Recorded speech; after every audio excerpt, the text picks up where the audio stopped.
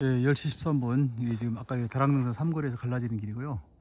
겨울 풍광으로서 찍을만 해서 카메라를 끌어 들었다가 워낙 등산객이 많아서 포기하고 다시 또 내려가는데 아무래도 경치가 좋아서요. 물론 지금은 이제 그 겨울이라서 에, 봄이나 여름 가을의 그러한 아, 아름다움과는 좀 다른 에, 좀 쓸쓸한 근데 뭐 오늘은 날씨가 좋아서 그런가? 그렇게 쓰- 또 사람도 많아서 그런지 뭐 그렇게까지 쓸쓸하지도 않네요 근데 또. 그러니까. 예, 정말 여기는 지금 높이 올라가는 데가 아니라서. 예, 그냥 한번 예, 이러한 풍광들을 예, 눈에 담아 보려고 합니다.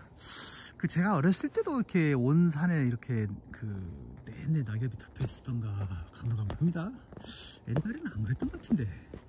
예, 잘 모르겠습니다. 예.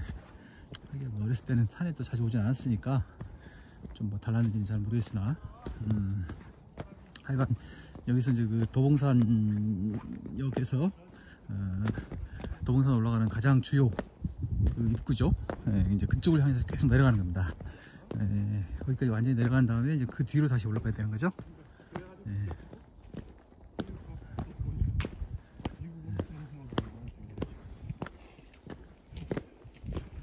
높이에서는 그거를 연주하고 자, 조용, 조용, 조용하다고 해야 할 등산로였는데 한순간 사람들이 많이 몰려와가지고 약간 활기가 찼다가 이제 다시 좀 잦아들었습니다.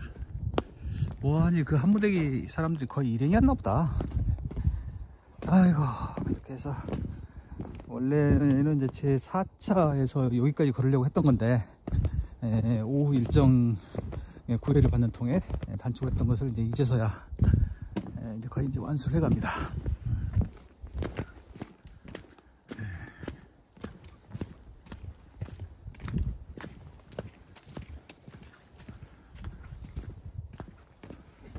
네, 여기를 지금 걸어서 내려가고 있는데 역시 이 주요 코스라서 그런지 등산객들이 참 많네요. 네, 그만하겠습니다.